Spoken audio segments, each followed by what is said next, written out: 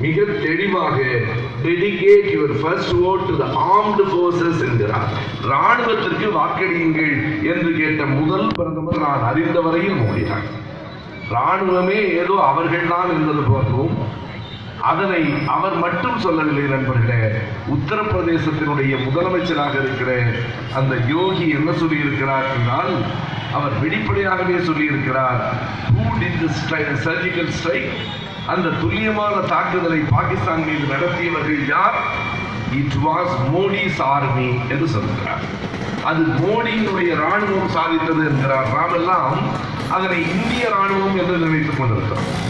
ஆனால் அவர்கள் என்ன சொல்லுகிறார்கள்? அது மோடியின் ராணுவம் என்று சொல்லுகிறார்கள்.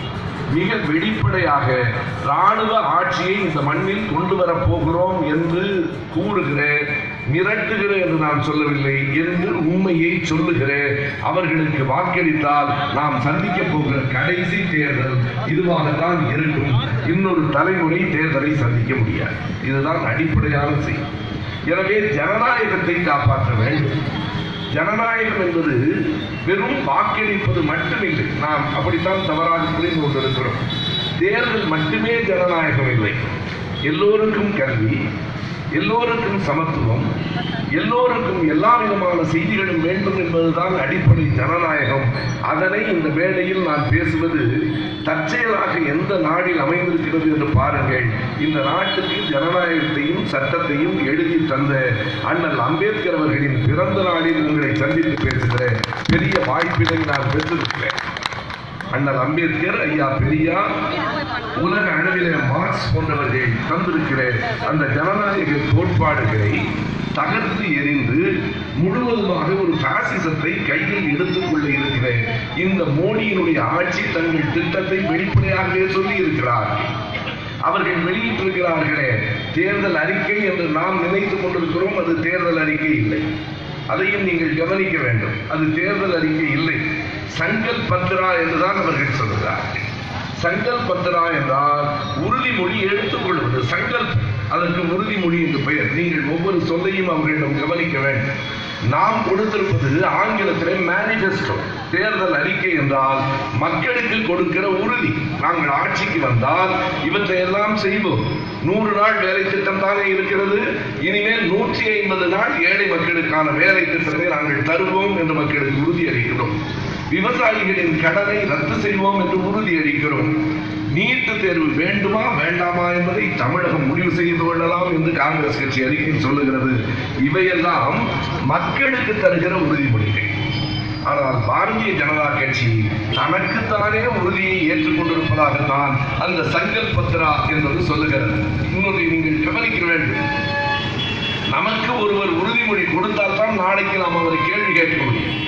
அவர் தனக்குத்தானே ஒரு உறுதிமொழி எடுத்துக்கொண்டால் அதிலிருந்து அவர் மீறினால் நாம் எப்படி கேட்க முடியும்? பொதுவாக இந்த ஜனவரி ஒன்றாம் தேதி வந்தால் நம்முடைய பிள்ளைகள் எல்லாம் உறுதி எடுத்துக் கொள்வார்கள் அது ரெசல்யூஷன் என்று சொல்லுவார்கள். இனிமேல் நான் போய் பிடிக்க மாட்டேன். இனிமேல் மது அருந்த மாட்டேன். நண்பர்கள் சில பேர் உறுதி எடுத்துக் கொள்வார்கள்.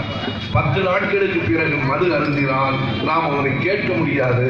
ஏன் நீ உறுதிமொழி எடுத்துக்கொண்டு மீறினாய் என்றால் நான் எனக்கு நானே எடுத்துக்கொண்டேன் நான் அதை மீறுவது மீறாமல் இருப்பதும் என் விருப்பம் நீ யார் கேட்பதற்கு என்று சொல்லுவாரே தவிர அதுதான் சங்கல் பத்ரா அதனை அவர்கள் தந்திருக்கிறார்கள் அந்த சங்கல்பத்திராவில் நீங்கள் இரண்டையும் ஒப்பிட்டு பாருங்கள். காங்கிரஸ் கட்சி திராவிட முன்னேற்ற கழகம் தந்திருக்கிற தேர்தல் அறிக்கைகளை ஒரு பக்கம் அவர்கள் தந்திருக்கிற அந்த சங்கல் பத்ராவை இன்னொரு பக்கம் வைத்துக் கொண்டு பார்த்தால் நாம் ஆட்சி என்பது இருமுறை சார்ந்தது. ஒன்று கொள்கை நலன் சார்ந்தது. இன்னொன்று மக்கள் நலன் சார்ந்தது. இரண்டில் எதையாவது அவர்கள் சொல்லியிருக்கிறாரா பாருங்கள். அவர்களுடைய கொள்கை சார்ந்த திட்டங்கள் என்ன என்றால் அயோத்தியில் ராமர் கோயில் கட்டுவது. காஷ்மீரில் முன்னூற்றி எழுபதாவது பிரிவை நீக்குவோம். மீண்டும் மீண்டும் நாட்டில் பிரிவினையை கொண்டு வருவதே அவர்களின் உறுதிமொழியாக இருக்கிறது. எண்ணி பார்க்க வேண்டும் இந்த வேலையில இந்துக்கள் இருக்கிறார்கள் இஸ்லாமியர்கள் இருக்கிறார்கள் சிறுபான்மையினர் பலரும் இருக்கிறார்கள். தமிழ்நாட்டை பொறுத்தளவு பாரதிய ஜனதா கட்சி ஒன்றை புரிந்து கொள்ள வேண்டும். ஆயிரத்தி தொள்ளாயிரத்தி நாற்பத்தி ஏழில் இந்தியா பாகிஸ்தான் என்ற இரு நாடுகளாக பிரிந்து நாடே நமகாரியாக மாறி நாடு முழுவதும் மதக்கலவரங்கள் பற்றி எரிந்தபோது கூட அமைதியாக இருந்த மாநிலம் தமிழ்நாடு தான் என்பதை அவர் உணர்ந்தார் இது வரலாற்று பின்னணியோடு கொண்ட செய்தி. அன்றைக்கு நவகாடியிலே நடந்த மத கலவரத்தை ஒடுக்குவதற்காக நேரு அவர்களும் சர்தார் பட்டேல் அவர்களும் மூவாயிரம் கோடி ரூபாயிலே ஒரு சிறை வைத்திருக்கிறார்களே. அதே பட்டேல் அவர்கள் தான் ராணுவத்தை காவல்துறையை அனுப்பிய போது பயணத்து என்ன காரணம் என்றால் கலவரத்தை அடக்க போன காவல்துறையினரும் கூட இந்துக்களாகவும் இஸ்லாமியர்களாகவும் பிரிந்து நின்று மோதிக்கொண்டார்கள். நாற்பத்தி ஏழு வரலாறு நான் சொல்லுகிறேன். எப்போதாவது இந்துக்களும் இஸ்லாமியருக்கும் பகை உண்டு தமிழகத்தின் தெருக்களில மோதி இருக்கிறோமா? அதைத்தான் பாரதிய ஜனதா கட்சி விரும்புகிறது. இங்கே ஒரு ரத்த கடலி நடைபெற வேண்டும் என்று விரும்புகிறது. இப்போது இல்லை நண்பர்களே. ஆயிரத்தி தொள்ளாயிரத்தி எண்பத்தி ஒன்றில் மண்டை காட்டிலிருந்து தொடங்கி இன்று வரை இந்த முயற்சியில் அவர்கள் ஈடுபட்டிருக்கிறார்கள். ஆனால் தொடர்ந்து பரிதாபமாக தோற்று போகிறார்கள் கடைசியாக அவர்களுக்கு அவர்களுடைய அந்த எண்ணத்தை நிறைவேற்றிக் கொள்ள ஒரு குதிரை கிடைத்திருக்கிறது. அந்த குதிரைக்கு அதிமுக என்று அது ஒரு அடிமை குதிரை. சவாரிக்கு தயாராக இருக்கிற ஒரு அடிமை குதிரை. அதனுடைய முதலமைச்சரை போல நண்பர்களே நான் உண்மையாக சொல்லுகிறேன் நம்முடைய முதலமைச்சர் என்று சொல்லுவதே ஒரு விதத்தில் வேறு வழி இல்லாமல் சொல்லத்தானே வேண்டி இருக்கிறது யாராவது ஒரு காணொலி காட்சியை காட்டி இது யார் என்று கேட்டால் நீங்கள் எண்ணி பாருங்கள். காலில் விழுவது என்பதே சுயமரியாதைக்கு இடுக்கு என்றுதான் எப்போதும் சொல்கிறோம் பெற்றவரின் கால்களை தவிர மற்றவரின் கால்களை தொடாதீர்கள் என்ற சுயமரியாதை உணர்ச்சியை என்றைக்கும் இளைய தலைமுறைக்கு சொல்ல வேண்டும் என்று நாம் கருதுகிறோம். போனால் போகட்டும் காலை தொட்டு கும்பிடுகிறவர்களை பார்த்திருக்கிறோம். காலில் விழுந்து வணங்குகிறவர்களை கூட பார்த்திருக்கிறோம். தவழ்ந்து வந்து காலில் விழுந்த ஒரே மனிதன் எடப்பாடி தான் நான் எதையாவது மிகையாக சொல்கிறேன் நடந்ததா இல்லையா? மேடையிலே அமர்ந்திருக்கிற போது அமர்ந்திருந்தவர்கள் கீழே காலில் ஏதோ ஊறுகிறதே என்று புரிந்து பார்க்கிறாங்க ஏதோ அல்ல நண்பர்களே எடப்பாடி ஊறுகிறார். யாராவது பார்த்துவிட்டு அந்த ஊர்ந்து வந்து சசிகலா காலை விடுகிறாரே அவர் யார் என்று கேட்டால் அவர்தான் எங்கள் முதலமைச்சர் என்று சொல்ல வேண்டிய அவமானம் நமக்கு நேர்ந்திருக்கிறதா இல்லையா நண்பர்களே இன்றைக்கு பாருங்க அப்படியே நான் தலைவர் நம்முடைய தலைவர் தளபதியை பார்க்கிற போது நினைப்பேன் அப்பாவுக்கு பிள்ளை தப்பாமல் பிறந்திருக்கிறார். அப்படி ஒரு மனிதனை போல உடைப்பதற்கு இனி ஒரு மனிதன் வர முடியுமா என்று நாமெல்லாம் நினைத்தோம்.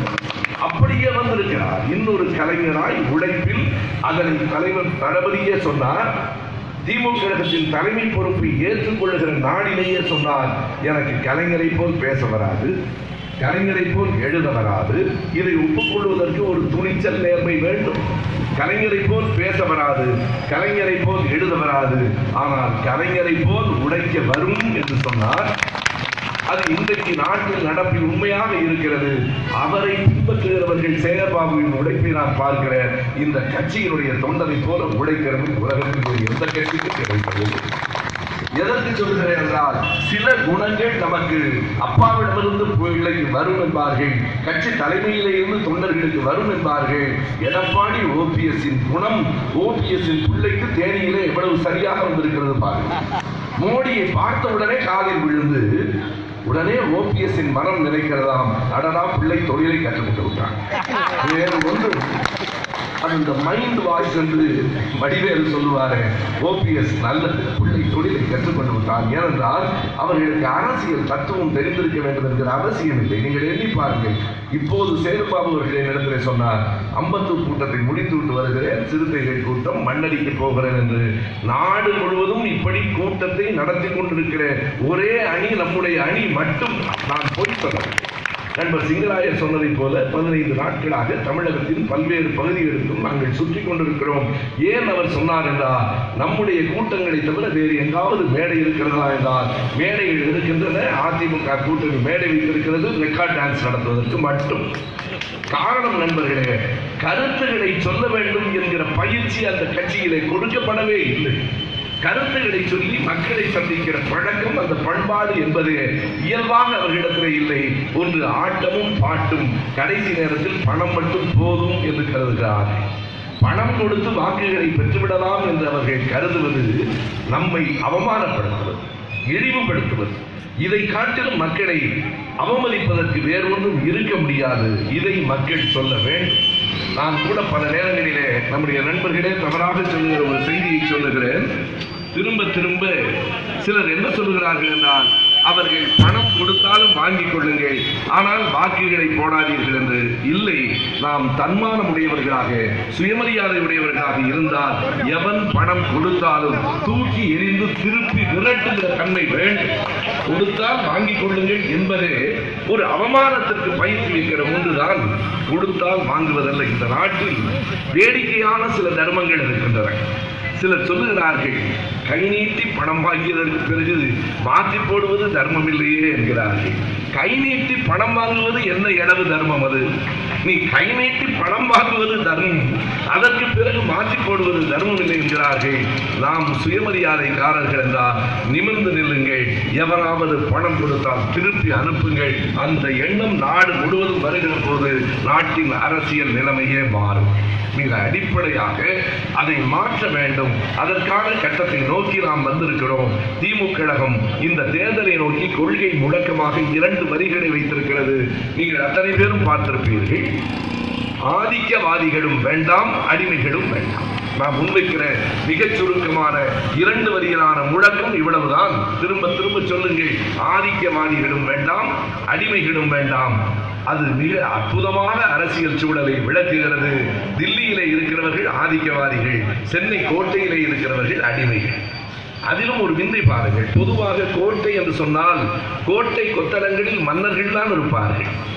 இல்லை போனால் போகிறது அமைச்சர்கள் இருப்பார்கள். இப்போதுதான் முதல் முதலாக கோட்டையிலே கொத்தடிமைகள் இருக்கிறார்கள். கொத்தடிமைகள் கோட்டையிலே இருக்கிற காலத்தில் நாம் வாழ நேர்ந்திருக்கிறது. எனவேதான் இந்த தேர்தல் என்பது வெறும் நாடாளுமன்றத்திற்கான தேர்தல் மட்டுமில்லை இருபத்தி இரண்டு சட்டமன்ற இடைத்தேர்தல்களுக்குமான தேர்தல் என்கிற காரணத்தால் இருபத்தி இரண்டு சட்டமன்ற இடைத்தேர்தல்களிலும் வெற்றி பெறுகிற போது ஏற்கனவே நம்முடைய கூட்டணியில் தொண்ணூற்றி ஏழு பேர் இருக்கிறோம். தமிம் அன்சாரி நம்மோடு தான் இருக்கிறார். தனி அரசும் கருணாசும் வந்துவிடுவதற்கான வாய்ப்புகள் உள்ளன. நீங்கள் இருபத்தி இரண்டையும் சேர்த்து நாம் வெற்றி பெறுவோமானால் இந்த தேர்தல் முடிவின் போது மத்தியில் இருக்கிற மோடியை மட்டுமல்ல மோடியை மட்டுமல்ல அவரோடு சேர்த்து இலவச இணைப்பாக எடப்பாடியையும் அனுப்பிவிடுவதற்கான வாய்ப்பு இருக்கிறது. எனவே அடுத்து இந்தியாவின் பிரதமராக இளம் தலைவர் ராகுல் காந்தியும் தமிழகத்தின் முதல்வராக நம்முடைய அருமை தலைவர் தளபதி அவர்களும் ஆட்சி பொறுப்பேற்கிற நாள் நெருங்கிக் கொண்டிருக்கிறது. அவர்கள் கண்டிப்பாய் அந்த பொறுப்புகளை ஏற்பார்கள். ஆனால் அவர்கள் பொறுப்புகளை ஏற்பதற்கு நாம் முதலில் பொறுப்பேற்றுக் கொள்ள வேண்டும். அதைத்தான் சிங்கராயர் சொன்னார். நாம் பொறுப்பேற்றுக் கொள்ள வேண்டும். நாம் இங்கே வந்திருக்கிற நண்பர்கள் கட்சி கட்சி சார்ந்த தோழர்களுக்கு வாக்கு அழியுங்கள் என்று கேட்பதே உங்களினுடைய மதிப்பை குறைக்கும். நீங்கள் வாக்களிக்காதவர்கள் போல நான் வந்து கேட்க வேண்டும் என்பதல்ல. நாம் எல்லோருமாக சேர்ந்து மக்களிடம் கேட்டுக்கொள்ள வேண்டும் என்பதற்காகத்தான் இந்த கூட்டத்தை நடத்துகிறோம். இந்த கூட்டத்தில் நாம் ஏன் அந்த கூட்டணிக்கு வாக்களிக்க கூடாது? ஏன் இதற்கு வாக்களிக்க வேண்டும் என்கிற செய்திகளை பேசுகிறோம். அவர்கள் திரும்ப திரும்ப நான் முதலிலேயே சொன்னேன். சங்கல்பத்ரா என்று வெளியிட்டிருக்கிற அனைத்திலும் திரும்ப திரும்ப அவர்கள் நாட்டை பிளவுபடுத்துகிற கூறுகளை முன்வைத்திருக்கிறார். அதிகமாக சொல்லப்பட்டிருப்பது ஒன்றுதான். நீங்கள் கவனிக்க வேண்டும். இரண்டாயிரத்தி பதினான்காம் ஆண்டு ஒரு சொல்லை வைத்து இந்த நாட்டை ஏமாற்றினார்கள் இரண்டாயிரத்தி பத்தொன்பதில் கையில் இன்னொரு சொல்லை எடுத்திருக்கிறார்கள். ஆனால் என்ன வேறுபாடு என்றால் பதினான்காம் ஆண்டு மக்கள் ஏமாந்து போனார்கள் ஏமாற தயாராக இருந்தார்கள். இரண்டாயிரத்தி பத்தொன்பதில் இந்தியா முழுவதும் மக்கள் விழித்துக் கொண்டிருக்கிறார்கள். இனி ஏமாற மாட்டார்கள். இப்போது அவர்கள் கையில் எடுத்திருக்கிற சொல் நம் எல்லோருக்கும் தெரியும் காவலாடி என்பதுதான் சௌக்கிதான் அது மட்டுமல்ல திரும்ப திரும்ப அவர் கேட்கிற நேரத்திலே எல்லாம் என்ன சொல்லி ஓட்டு கேட்கிறார்? பாகிஸ்தானிடமிருந்து இந்தியாவை காப்பாற்ற வேண்டுமானால் எங்களுக்கு வாக்களியுங்கள்.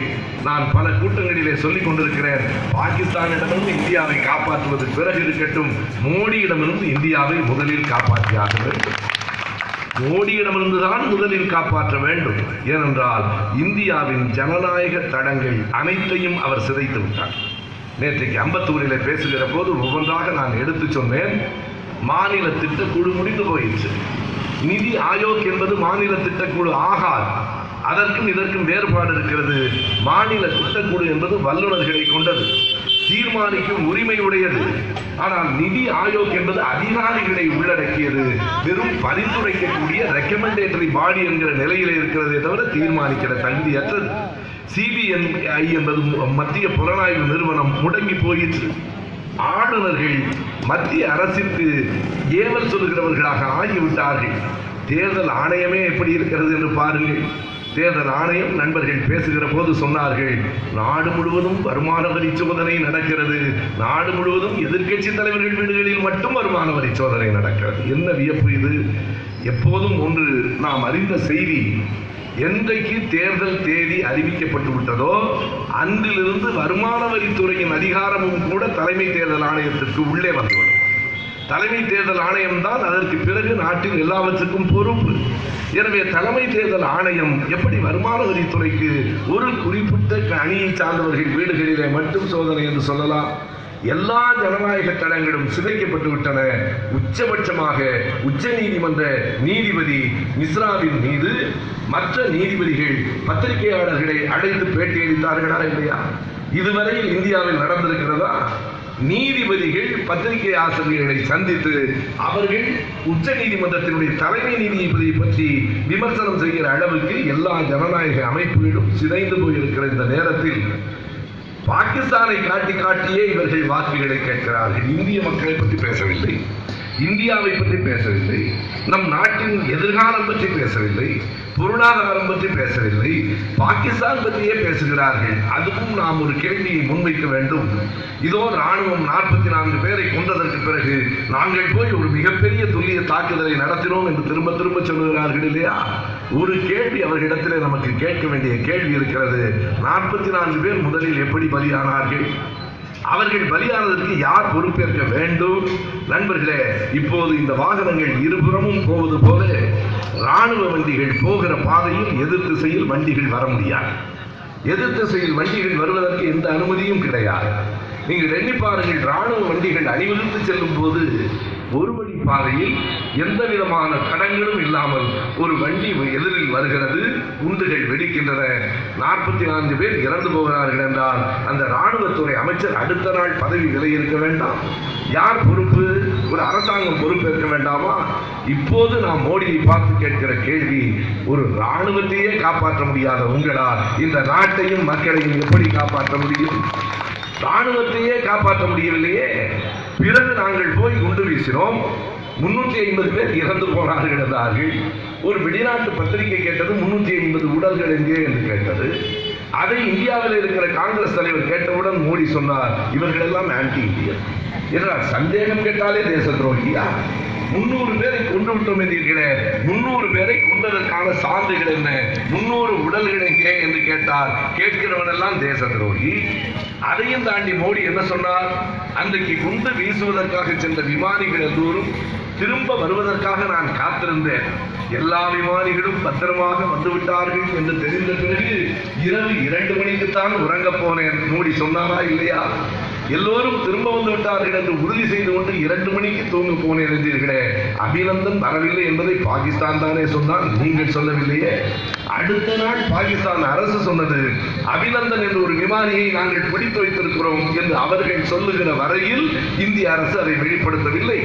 அதற்கு பிறகு இவர்கள் என்ன திட்டமிட்டார்கள் என்றால் அபிநந்தனை மீட்பது என்கிற பெயரில் பாகிஸ்தான் மீது ஒரு போர் தொடுப்பது அப்படி போர் தொடுத்தால் நெருக்கடி நிலையை அறிவித்துவிட்டு தேர்தலை தள்ளி வைத்து விடலாம் என்று கருதுகிறார்கள் ஏன் தேர்தலை தள்ளி வைக்க வேண்டும்? நண்பர்களே இன்றைக்கு வந்திருக்கிற அத்தனை கருத்து கணிப்புகளும் உங்களுக்கு தெரியும். தமிழ்நாட்டில் மிக எதிராக இருக்கிற நான் சொல்லுவது நமக்கு ஆதரவான ஏடுகள் இல்லை ஆதரவான ஊடகங்கள் இல்லை. தந்தி போன்ற ஓரளவுக்கு நமக்கு எதிராக இருக்கிற ஊடகம் மட்டுமில்லை. முழுக்க முழுக்க நமக்கு எதிரில் இருக்கிற துக்ளக் பத்திரிகையும் கூட முப்பத்தி ஐந்து இடங்கள் நாம் தான் வெற்றி பெறுவோம் என்று சொல்லுகிறார் கிழக்கும் தந்தியுமே சொல்லுகிறது என்றால் அவர்களே முப்பத்தி ஐந்து சொன்னால் நாற்பது உறுதி என்றுதான் அதற்கு பொருள். எனவே சாதாரணமாக ஊடகங்களுக்கு தெரிகிறது. ஊர் சுற்றி வந்த எங்களுக்கே தெரிகிறது உளவுத்துறையை கையில் வைத்திருக்கிற அரசுக்கு தெரியாமல் இருக்குமா? கண்டிப்பாக தெரிந்திருக்கிற காரணத்தால் தான் தேர்தலை தள்ளி வைத்து விடலாமா என்று அவர்கள் கருதினார்கள். ஆனால் அவர்கள் ஆசையில் யார் மண்ணை போட்டார்கள் என்பது நமக்கு தெரியும். அபிநந்தனுக்காக போர் தொடுக்கலாம் என்று தயாராகும் வேளையில் பாகிஸ்தான் அதிபர் இம்ரான் கான் நான் அபிநந்தனை விடுதலை செய்து விடுகிறேன் என்று சொன்னபோது நாடே மகிழ்ச்சி அடைந்தது இவர்களை தவிர. நீங்கள் எண்ணி பார்க்கலாம் நாடே மகிழ்ச்சி அடைந்தது. ஹெச் ராஜாவின் முகம் ரொம்பவும் சோகமாக அன்றைக்கு நான் பார்த்தேன். எனவே இப்படி வெறும் பாகிஸ்தானை காட்டி ராணுவத்தை காட்டி இவர்கள் முற்றுமாக இந்த நாட்டை இராணுவ மயமாக்க முயற்சிக்கிறார்கள் என்கிற கட்டத்திலே நாம் என்ன முடிவெடுக்க வேண்டும்? இந்த நாட்டில் ஜனநாயகம் தான் கடைசியாக தேர்தல் மட்டும்தான் மிஞ்சி இருக்கிறது நான் முதலில் குறிப்பிட்டதைப் போல தேர்தல் ஆணையம் ஆளுநர்கள் சிபிஐ உச்சநீதிமன்றம் மாநில திட்டக்குழு என்கிற அனைத்து ஜனநாயக அமைப்புகளும் சிதைக்கப்பட்ட பிறகு மிஞ்சி இருக்கிற ஒரே ஒரு ஜனநாயக கூறு தேர்தல் மட்டும்தான். அந்த தேர்தலை நாம் சரியாக பயன்படுத்துவதன் மூலம் மட்டுமே நாட்டுக்கான எதிர்காலத்தை தர முடியும். நம்முடைய தமிழகம் தான் சரியாக குரல் கொடுத்திருக்கிறது. எடப்பாடி நேற்றைக்கு கூட திரும்ப திரும்ப கேட்கிறார். ராகுல் தான் எதிர்காலத்தில் இந்தியாவின் பிரதமர் என்று ஸ்டாலின் மட்டும்தானே சொல்லுகிறார் என்கிறார். ஆமாம் எப்போதும் எதையும் முன்னுணர்ந்து சொல்லுகிற இயல்பு எங்களுக்கு தான் உண்டு. இடஒதுக்கீட்டுக்காக இந்தியாவில் போராடிய மாநிலம் எது? பிற்படுத்தப்பட்டோருக்கு இடஒதுக்கீடு வேண்டும் என்று ஆயிரத்தி தொள்ளாயிரத்தி ஐம்பதுகளின் இறுதியில் தமிழ்நாடு முழுவதும் போராட்டம் நடந்ததே. அந்த போராட்டத்தின் விளைவாகத்தானே ஆயிரத்தி தொள்ளாயிரத்தி ஐம்பத்தி ஒன்று மே மாதம் இதனை நேரு அவர்களே நாடாளுமன்றத்திலே சொல்லுகிறார். தமிழ்நாட்டில் நடந்த அந்த போராட்டங்களின் அடிப்படை இருந்தாரே இந்திய அரசமைப்பு சட்டத்தையே முதன் முதலில் திருத்த வைத்த நாடு தமிழ்நாடு தான் இதனை மோடி புரிந்து கொள்ளவில்லை. என்ன வியப்பென்றால் நண்பர்களே காங்கிரஸ் கட்சியின் தலைவர் ராகுல் புரிந்து வைத்திருக்கிறார். தேனியிலே பேசுகிற போது அவர் குறிப்பிடுகிறார் மோடிக்கு தமிழ்நாட்டை பற்றி தெரியவில்லை. தமிழ்நாட்டு மக்களை மிரட்டி தன் வழிக்கு கொண்டு வந்து விடலாம் என்று அவர் நினைக்கிறார். அது ஒரு நாடும் நடக்காது. என்னை பொறுத்தளவு மோடி அவர்களுக்கு பெரியார் கலைஞர் புத்தகங்களை பரிசாக அன்பளிப்பாக கொடுக்க வேண்டும் என்று கருதி கொண்டிருக்கிறேன். பெரியாரையும் கலைஞரையும் படித்தால்தான் தமிழ்நாட்டின் நாடி என்ன என்று புரியும் என்று மிக தெளிவாக நம்முடைய ராகுல் காந்தி அவர்கள் சொல்லியிருக்கிறார். எனவே இந்த மண் என்பது பெரியாரின் மண் தான். தமிழிசை ஒப்புக்கொள்ள வேண்டியதில்லை. தமிழிசைக்கு இன்னும் இருபத்தி இரண்டாம் தேதிக்கு பிறகு வேலை மே இருபத்தி மூன்று வரைக்கும் தமிழிசை பேசுவார். தமிழிசை நண்பர்களே நம்முடைய தலைவர் சொன்னது போல பழிவாங் பழி வாங்குவதற்காகவே தூத்துக்குடியில கொண்டு போய் நிறுத்தி இருக்கிறார்களோ என்று தோன்றுகிறது. ஆகையினாலே மிக அழுத்தமாக இந்த நாட்டினுடைய அடுத்த கட்டத்தை நோக்கி நாம் செல்ல வேண்டுமானால் ஜனநாயகத்தில் நிலைநிறுத்த வேண்டுமானால் இந்த கூட்டணிக்கு வாக்களியுங்கள்.